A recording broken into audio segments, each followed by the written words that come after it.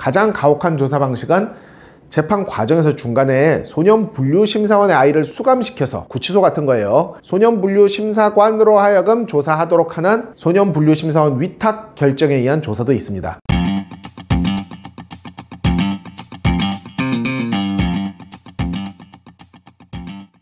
예, 안녕하세요. 전국 소년 사건을 전문적으로 다루는 조기현 변호사입니다.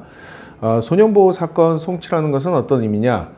소년보호 사건 송치라는 것은 우리 미성년자인 아이들이 수사를 받고 그 수사가 종결되어 가지고 법원으로 넘어갔다는 의미예요. 그런데 원래 어른들 수사는 종결이 되면은 형사법원에서 재판을 받습니다. 그거는 공소제기, 줄여서 기소라고 표현하는 반면 소년보호 사건 송치는 형사법원이 아니라 소년법원 다른 말로는 소년재판부라고도 하는 가정법원 혹은 지방법원의 특별한 법원에서 소년보호 처분을 내리기 위한 재판이 진행될 것이라는 게 바로 소년보호 사건 송치입니다.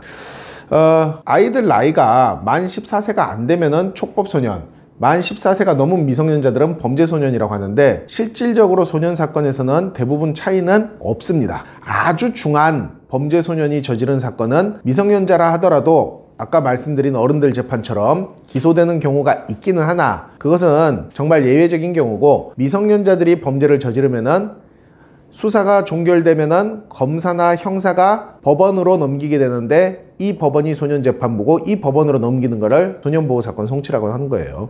소년보호 사건 송치가 되면 은 이제 법원에서 사건을 받았죠. 종국적으로는 소년 판사가 재판을 해서 보호 처분을 내리게 돼요. 아무런 죄가 없으면 은 불처분, 그리고 죄가 아주 중하면은 시포 처분이라고 해서 소년원 2년 수감. 그 밑으로도 1, 2, 3, 4, 5, 6, 7, 8, 9, 10호 처분까지 총 10개, 불처분까지 하면 11개의 처분 중에서 판사가 사건을 심리해가지고 결론을 내리게 되는 거죠. 그런데 판사가 실제로 아이들을 법원에서 보는 시간은 아주 잠깐이기 때문에 판사가 법정에서 아이들을 보기 전에 여러 가지 방법을 활용해서 조사를 하게 됩니다. 아이들을 살피기 위해서 하는 조사는 법원 조사관으로 하여금 조사하게 하는 조사 방식이 있고 관할 보호관찰소에 조사 위탁하여 보호관찰관으로 하여금 조사하게 하는 보호관찰소 결정전 조사도 있고 가장 가혹한 조사 방식은 재판 과정에서 중간에 소년 분류 심사원의 아이를 수감시켜서 구치소 같은 거예요. 일시 수감시켜서 소년 분류 심사관으로 하여금 조사하도록 하는 소년 분류 심사원 위탁 결정에 의한 조사도 있습니다. 이런 다양한 조사를 거쳐서 종국적으로는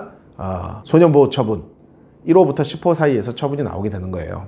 그럼 소년보호 사건 송치되면 부모님은 어떻게 대응해야 될까요? 두 가지를 초점을 맞춰야 돼요. 첫 번째로는 조사 과정이 가혹하지 않도록, 즉 소년분류 심사원 위탁 수감 결정 없이 사회 내에서 조사받을 수 있도록 해야 되고 두 번째는 종국 결정에서 가혹한 처분이 나오지 않도록 소년보호 처분 제가 아까 종국 결정 1호부터 10호 처분까지 있다고 했죠 6, 7, 8, 9, 10호 처분은 수감형 처분이에요 소년원 같은데 갇히는 거예요 그리고 5호 밑 으로 5, 4, 3, 2, 1은 수감하지 않는 사회내 처분인데 사회내 처분이 나오도록 해야 되는 것이 부모님이 해야 될 일입니다. 근데 부모님이 실제로 이걸 할 수 있을까요? 어렵죠. 왜냐면은 소년 사건의 법리적인 관점에서 판사를 설득해야 되는데 부모님이 법률 전문가가 아닌 이상 특히 법률 전문가라 하더라도 소년 사건의 특수성을 파악하지 못하는 이상 그 부분이 쉽지 않기 때문입니다. 그래서 경찰 단계에서부터 소년 사건을 전문적으로 다룰 수 있는 변호사가 선임되어 있으면 가장 좋겠지만 적어도 소년보호 사건 송치된 시점에서부터는 소년 사건을 전문적으로 다룰 수 있는 변호사를 선임하여 사건에 적극적으로 대응할 필요가 있다는 얘기입니다. 소년 사건을 특별히 전문적으로 다루는 저 조기현 변호사는 두 가지 목표를 다 이루어 드릴 것입니다. 조사 과정에서 가혹하지 않게, 즉 소년 분류 심사원 수감 없이 조사받을 수 있도록 할 것이고, 두 번째는 소년 보호 처분 종국 결정에서 최대한 가벼운 처분이 나올 수 있도록 조력할 것입니다. 이것은 특별히 소년 사건에 정통한 저 조기현 변호사기 때문에 가능한 부분입니다. 조기현 변호사였습니다.